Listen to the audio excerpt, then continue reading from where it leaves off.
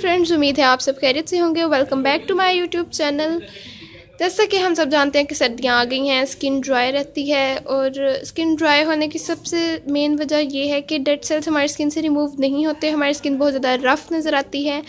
तो आज मैं उन सब मुश्किल को हल करने के लिए आपके साथ वीडियो शेयर कर रही हूँ। उम्मीद है आप सबको पसंद आएगी। तो अगर वीडियो अच्छी लगे तो लाइक करना ना भूलिएगा चैनल सब्सक्राइब करें, साथ बेल आइकन प्रेस करें।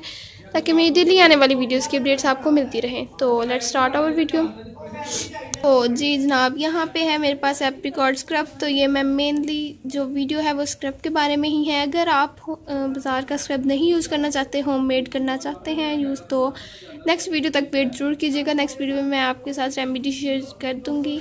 तो यहाँ पे फ़िलहाल हम बात कर रहे हैं एप्रिकॉर्ड स्क्रब की। ये मार्केट में सबसे ज़्यादा अच्छा स्क्रब है, जो मतलब मुझे ऐसा लगता है। तो अगर आपको कोई और स्क्रब अच्छा लगता है तो आप कमेंट में ज़रूर बताइएगा। हमारे साथ शेयर ज़रूर कीजिएगा तो अच्छा। यहाँ पे हम यूज़ कर रहे हैं एप्रिकॉट स्क्रब स्क्रब मेनली करता क्या है?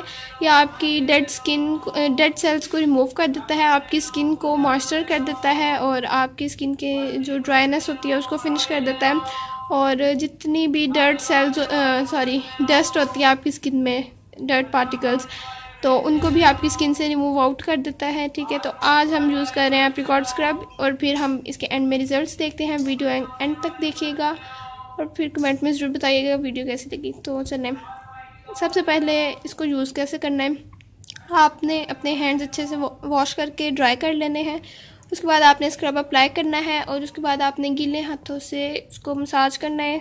ज़्यादा नहीं, चार, तीन, चार मिनट, ठीक है? या चार, पाँच मिनट। उसके बाद आपने अपना हैंड वॉश कर लेना है और फिर रिज़ल्ट आपके सामने होंगे। चलें फिर अब मैं आपको करके दिखा देती हूँ।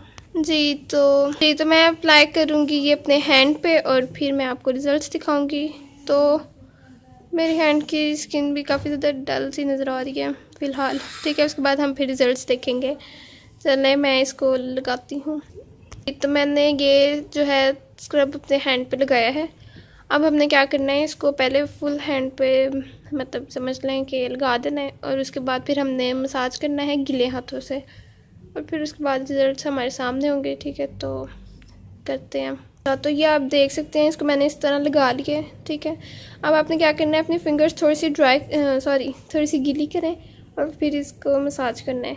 वो मैं आपको करके दिखाती हूँ। तो ये आप देख सकते हैं कि मैंने तीन चार मिनट मसाज करने के बाद इसकी कुछ इस तरह की हालत होगी है। ठीक है।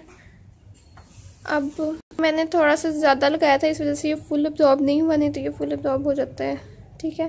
अब आपने क्या करना है, ये मैंने तीन मिनट किया था। अब आपने क्या करना है, इसको वॉश करना है।